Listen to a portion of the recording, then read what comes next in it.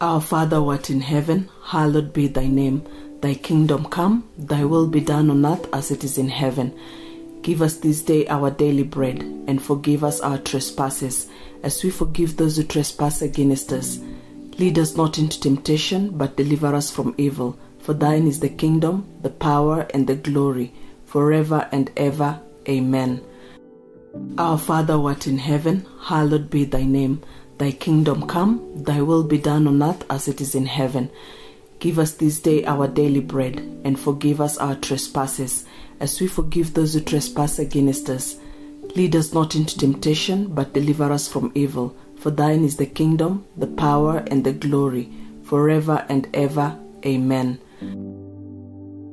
Our Father who art in heaven, hallowed be thy name. Thy kingdom come, thy will be done on earth as it is in heaven.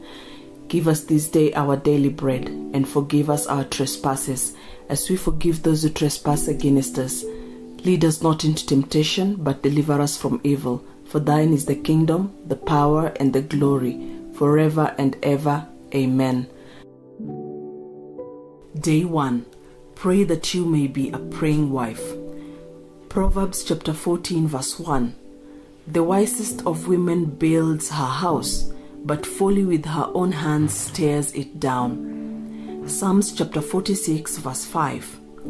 God is in the midst of her, she shall not be moved. God will help her when morning dawns. Acts chapter 1, verse 14.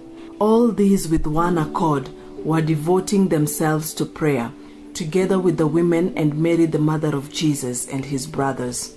Prayer Lord, I admit that some days I wish you'll just fix my marriage and I'll start with my husband. There are days when I feel he is the problem, when I wish he realized how much he frustrates me. Maybe if he realized this, he would change and our marriage will get better. But Lord, sometimes I wonder if he thinks the same things about me. God, the most powerful tool you have given us to improve our marriage is prayer. Help me bring my husband before you daily. God, I want to be a wife who acknowledges that her husband deserves her prayers. He deserves a wife who continually intercedes on his behalf, not so that you will fix him, but so that you will bless him, walk beside him, and know what is most important to his heart. God, no matter what my prayer life was like when my husband and I first fell in love, help me see the purpose and the power in praying now. You are so faithful to answer when we call, and right now I just place my marriage at your feet. Continue to guide me as I remember what it means to be a praying wife.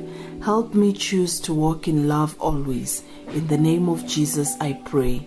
Amen. Daily generational prayer of blessing for you and your husband. May the Lord bless you and show himself real to you. May the Lord keep you and put a hedge of protection around you.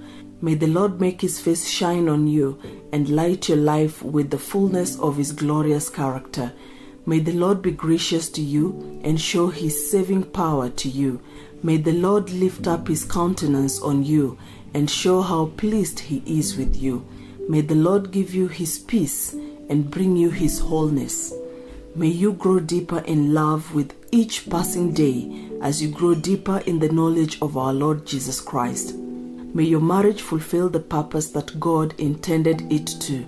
May you walk out the call of God on your lives individually as a couple.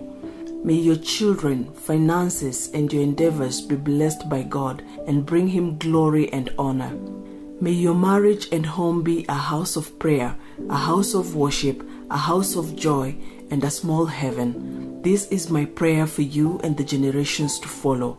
In the strong and mighty name of Jesus Christ, our Lord and Savior. Amen.